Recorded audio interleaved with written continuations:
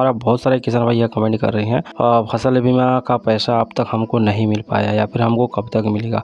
देखिए किसान भाई लोग, हमने पिछली वीडियो पर आप लोगों को इसके रिलेटेड पूरी जानकारी दे रही है कि भाई ये जो फ़सल बीमा की पैसा हाल ही में जारी की है सीएम भूपेश बघेल तो रबी सीज़न दो हज़ार के पैसे हैं, ठीक है? अब इसको लेकर बहुत सारे किसान भाई ये समझ बैठ रहे हैं कि यह खरीफ का पैसा भी है। तो मैं आप लोगों को बता दूँ, खरीफ का नहीं है भाई, रबी 2021-22 का पैसा है। जो कि अनुमानित है दो सौ करोड़ रुपए और उस पर उधाने की फ़सल का पैसा भी शामिल है। तो इस तरह से 300 करोड़ से ज़्यादा के पैसे हैं किसानों के बैंक अकाउंट में ट्रांसफ़र किए गए हैं। अब अलग अलग जगह से कमेंट आ रहे हैं कि इस ज़िले का पैसा अब तक नहीं आया है बीमा को लेकर, ठीक है? तो मैं आप लोग को बता दूँ, जैसे कि लाइव सेशन पे हमको जानकारी मिली है सीएम भूपेश बघेल जो संबोधन कर रहे थे। तो उस वक्त इन जिलों का नाम लिए थे, जिस पर है बालोद, बलौदाबाजार, बेमेतरा, धमतरी, दुर्ग, गरियाबंद, मुंगेली, राजनांदगांव, सरगुजा, कांकेर, बलरामपुर, बस्तर, बिलासपुर, गोरेला पेंड्रा मारवाई जसपुर, कबीरधाम और रायपुर। तो इन जिलों का नाम लिए थे और इन जिलों के किसानों को इसका लाभ मिला है। साथ ही अपने लाइव कार्यक्रम के दौरान सीएम भूपेश बघेल ने बताया कि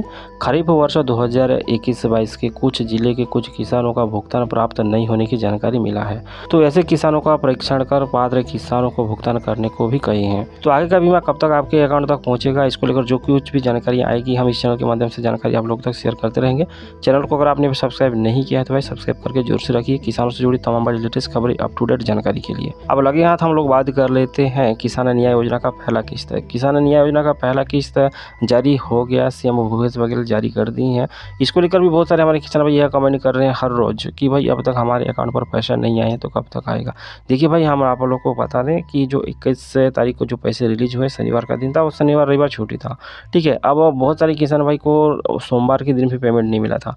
और उसके बाद मंगलवार से जो पेमेंट है वो कंटिन्यू आना शुरू हुआ है। हमारा बहुत सारे किसान भाई हमको जानकारी भी दिए, पहले बोल रहे थे कि अब पैसा नहीं आया लेकिन उसके बाद दो तीन दिन जैसे गुजरा तो फिर वो बताने लगे कि अब हमारा जो पेमेंट है, वो आ गया है न्याय योजना का पहला किस्त। तो हो सकता है भाई इस तरह से किसी भी कारण से रुक गया होगा आप। इस पर ज़्यादा सोचने या फिर घबराने का ज़रूरत नहीं है। अगर आप न्याय योजना के पहले भी हित रही हैं, पहले भी आप लोगों को पैसे मिल चुके हैं किस्तों पर तो यह पैसा भी आपके अकाउंट पर पहुँचेगा। और इन दिनों अपने जिला सहकारी बैंक का हालात आप लोगों को देखकर समझ में आ रहा होगा। किस तरह से किसानों का भीड़ बढ़ता जा रहा है दिन प्रतिदिन तो इस तरह से बैंक भी थोड़ा सा बिज़ी शेड्यूल चल रहा है इन दिनों। खासकर ये जो मई का और जून का महीना होता है, बैंक बहुत ही बिज़ी रहते हैं।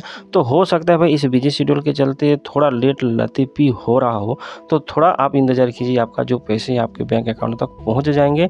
न्याय योजना का पैसा हो या फिर बीमा का पैसा हो। अगर आप इन योजनाओं का लाभार्थी हैं, पात्र किसान हैं तो बिल्कुल इन योजनाओं का लाभ मिलेगा। इन योजना से जितने भी पैसे जारी होते हैं, सरकार जारी की है, पात्रता अनुसार तो आप लोगों को तो उतना पेमेंट आप लोगों को मिलेंगे, कहने का मतलब ठीक है? चैनल पर नहीं है तो सब्सक्राइब ज़ोर से करके रखिए। लगातार हम आप लोगों को किसानों से जुड़ी, खेती किसान से जुड़ी मोस्ट इंपोर्टेंट अपडेट आप लोगों को इस चैनल के माध्यम से पहुंचाते रहते हैं। तो चैनल को सब्सक्राइब ज़ोर से कीजिए वीडियो को लाइक ज़रूर से करना यार, और ज़्यादा से ज़्यादा मित्रों को शेयर भी कर दीजिएगा। मिलते हैं अगली वीडियो पर नमस्कार।